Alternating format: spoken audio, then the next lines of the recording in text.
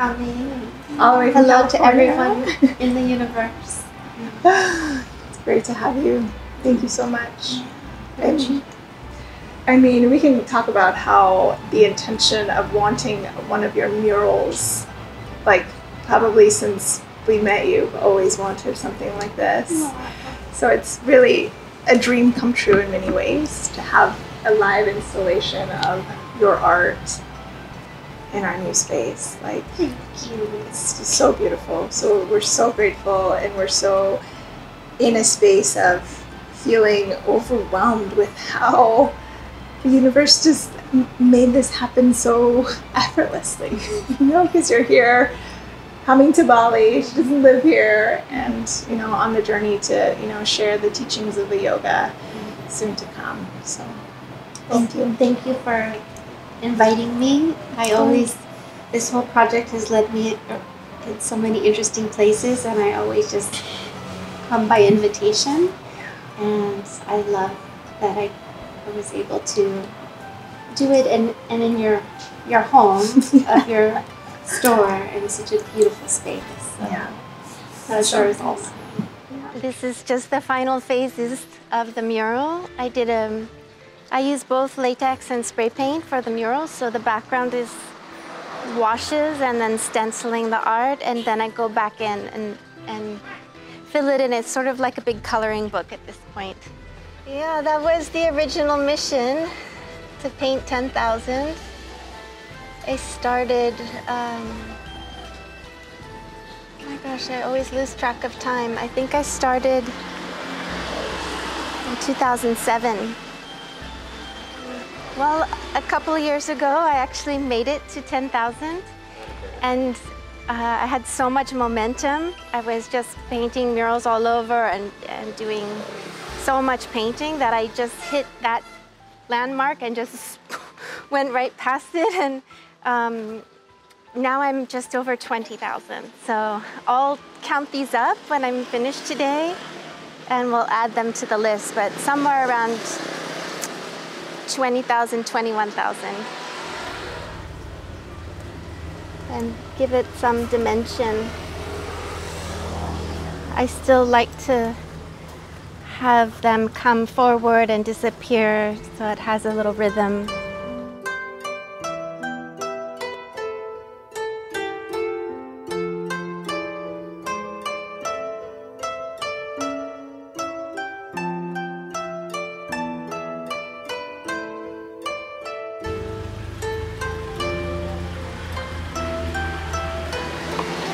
Guy's face didn't come out.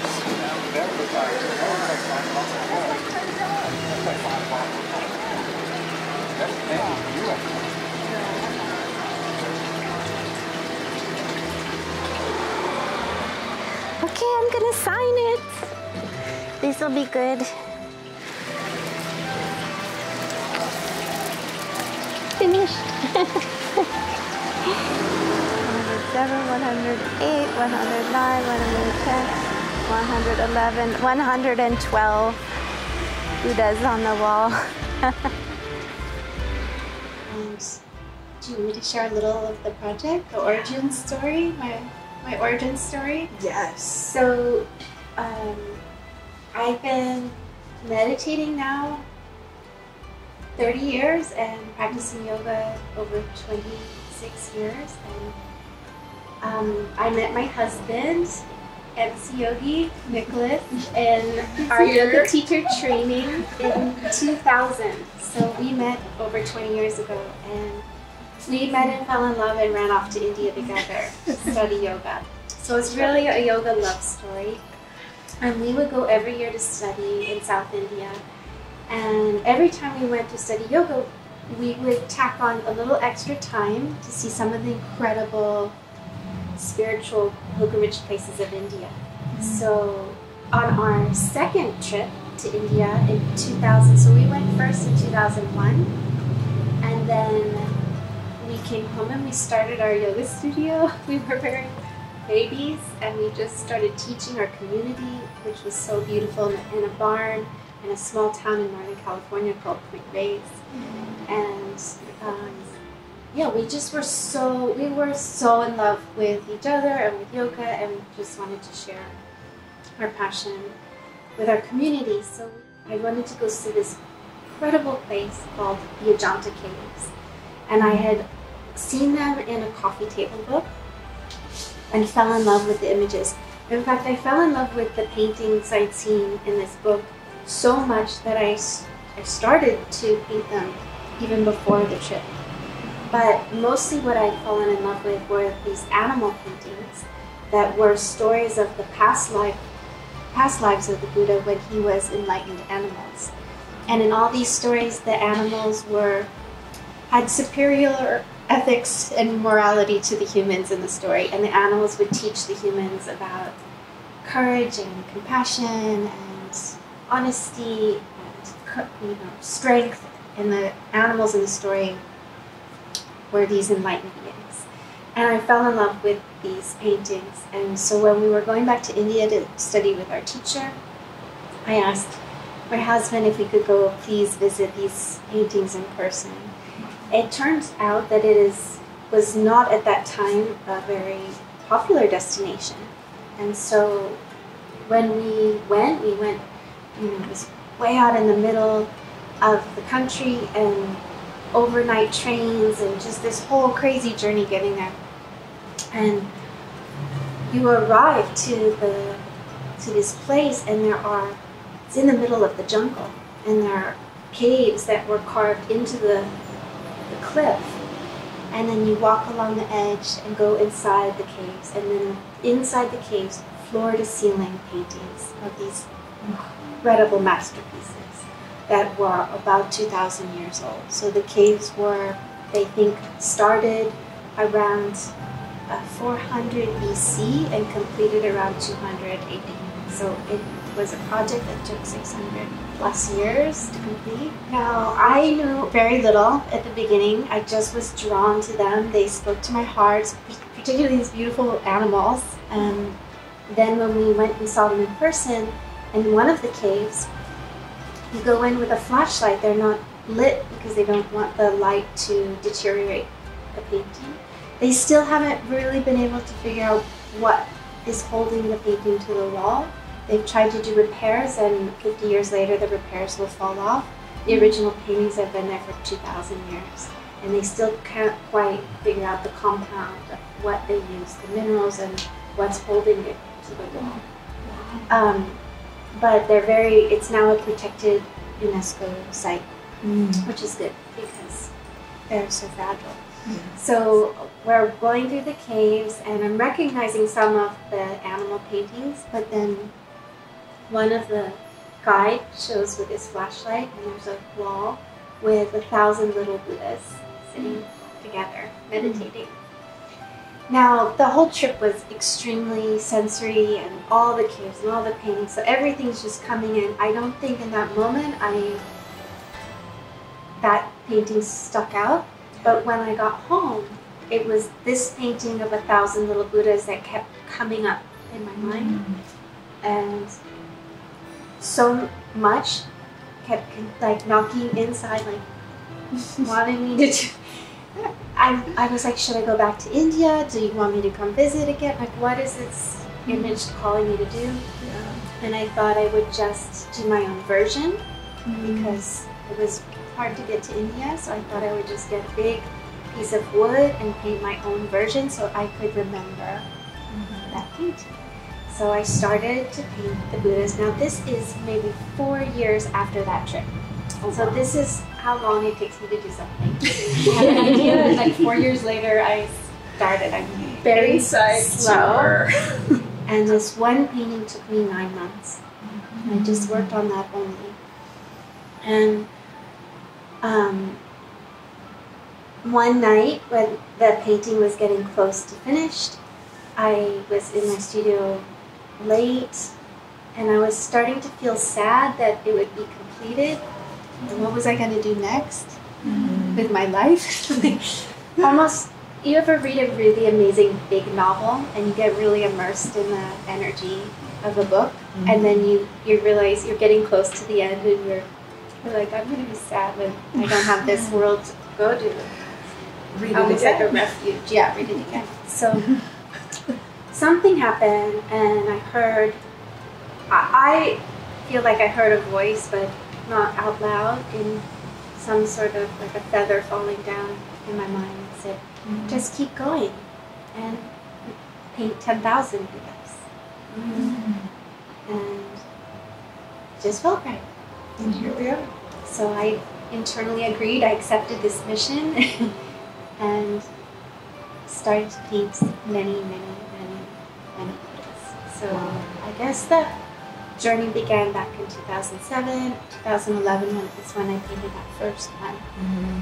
And then here we are, a decade plus A decade plus later, yeah. Well, that kind of segues into my second question, which I feel like you answered. It was on the lines of what is the true mission of 10,000 Buddhas? Mm-hmm. And it's almost, it's, it's kind of you working Spirit's mission on, almost like a, a descendant of that era. Well, what I learned after, because I didn't really understand, a lot of this happened for me not as a conscious decision, but mm-hmm. I think very uncon- very deep. I won't say unconscious, but subconscious, beyond my intellect.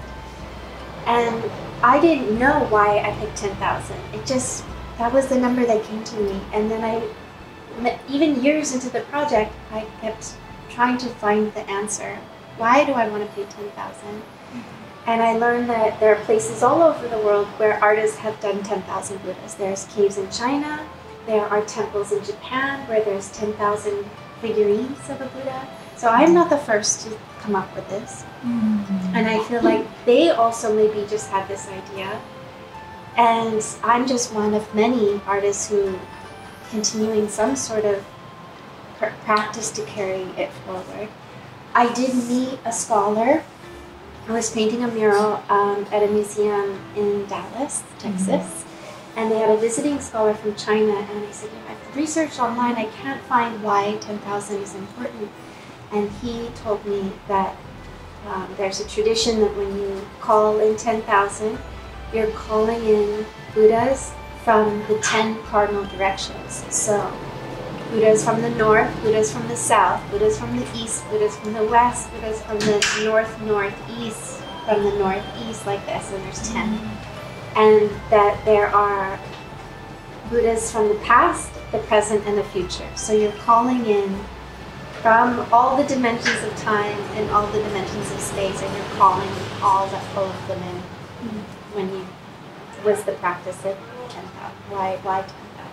That's pretty deep. It's a remembering of the four corners, you know, the four directions. You know, some even say the four elements, but we, then we add, you know, the minerals and we add spirit and make it six elements, right?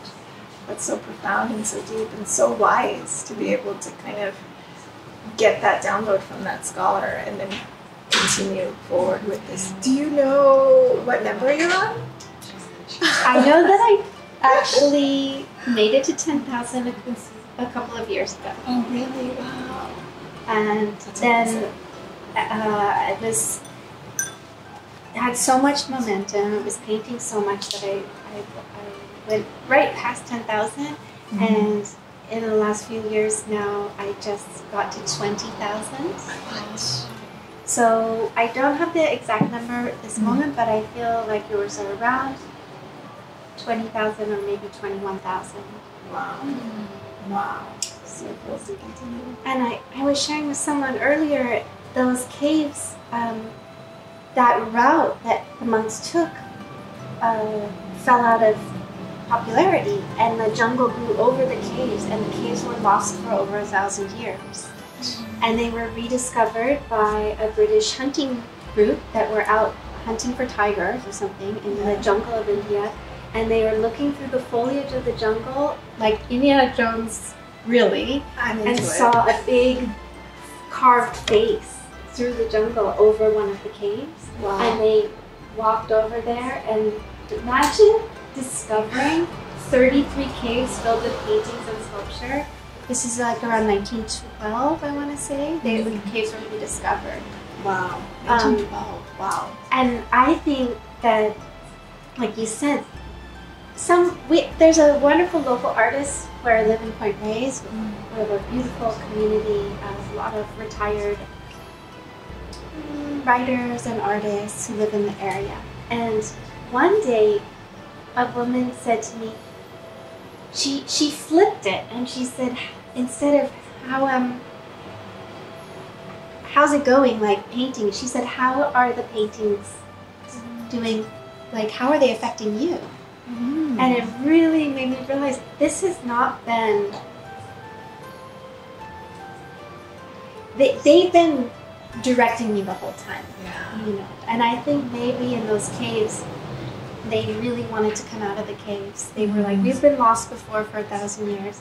Can you please take us with you? Yeah. And can you put us in Miami and a little in Portland and a little in Costa Rica and now a little in Bali? Can you please bring some of this out into the world and Mhm. make sure that it's useful? Something like that because, That's beautiful. And that's deep. yeah. They're cute. They're so cute, They're and so they're, I think they really represent to me this um, the power and the depth when we practice in community.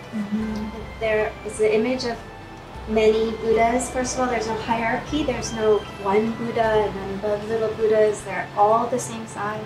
Yeah. They're all meditating together. So they're all. It's about the collective, and maybe during this time, there's a breaking down of hierarchy, and it's more about collective um, harmony and support for each other. That's Yes. beautiful. Some, uh, someone recently encountered a mural, and they said, whenever I come to this wall, I get the feeling that everything is going the right way in my life, like I'm on the right path. And I thought that was a really beautiful message.